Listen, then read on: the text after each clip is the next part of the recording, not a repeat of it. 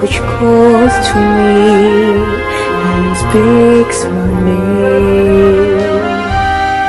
Do I dream again for now ever?